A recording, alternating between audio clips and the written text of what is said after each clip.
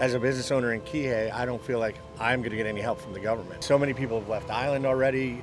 I keep seeing posts say I need to sell my car to survive. It's kind of like the fire still kind of, you know, smoldering because it's taking other things down with it. The constant refrain that we've been hearing from people around the island of Maui, especially in cities like Kihei, is the terrible fear over the loss of tourism and other kinds of business that are necessary to sustain life here on the island. Local businesses are hosting all kinds of food drives, they're hosting clothing drives, toy drives, anything that they can do, digging into their own pockets and now non-existent profits of any sort just to help local Maui individuals who are affected by these horrible wildfires. All of the money on the island is currently streaming into Lahaina, even at the expense, these individuals knowing that they are likely not going to stay in business after Governor Green, after celebrities like Jason Momoa got up after the initial tragedy and told people do not come to the island. The real opinion of many of the business owners and those employed on the island is completely different. We've heard is that people desperately want mainlanders and others to still come to Maui, be